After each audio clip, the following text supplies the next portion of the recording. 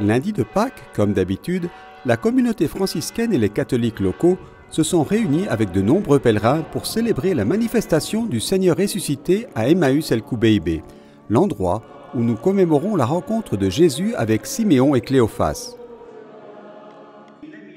Avec cette célébration, a affirmé le custode de Terre Sainte, non seulement Jésus nous rappelle qu'il marche avec nous, même lorsque nous ne le réalisons pas, mais qu'il existe de nombreux messages que ce lieu saint laisse à ceux qui le visitent.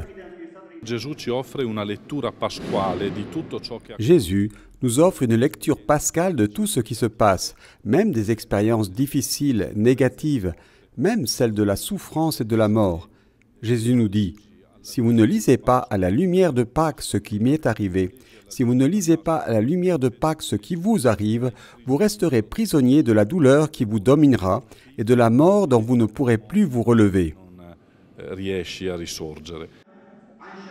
C'est une opportunité qui permet au petit sanctuaire, difficile d'accès pendant l'année en raison du mur de séparation, de se remplir de centaines de fidèles. Bienvenue à tous les pèlerins qui sont venus ici aujourd'hui pour assister à notre fête à Emmaüs el Koubeibé. Il y a une foule de gens qui sont venus malgré le mauvais temps, ce qui n'aide pas. Mais la foi aide à surmonter tous les problèmes. Toujours moins de pèlerins. Je suis désolée pour la communauté des frères qui vivent ici. C'est très difficile. Je prie toujours pour eux qu'ils aient confiance en Dieu, persévèrent à rester ici et à garder cette terre sainte. C'est une libération parce que maintenant vous pouvez aller à Emmaüs, Al-Kébeber.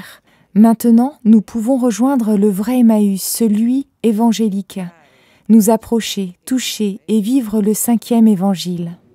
Après s'être assis à table avec eux, il prit le pain, prononça la bénédiction, le rompit et le leur donna. À ce moment, leurs yeux s'ouvrirent et ils le reconnurent.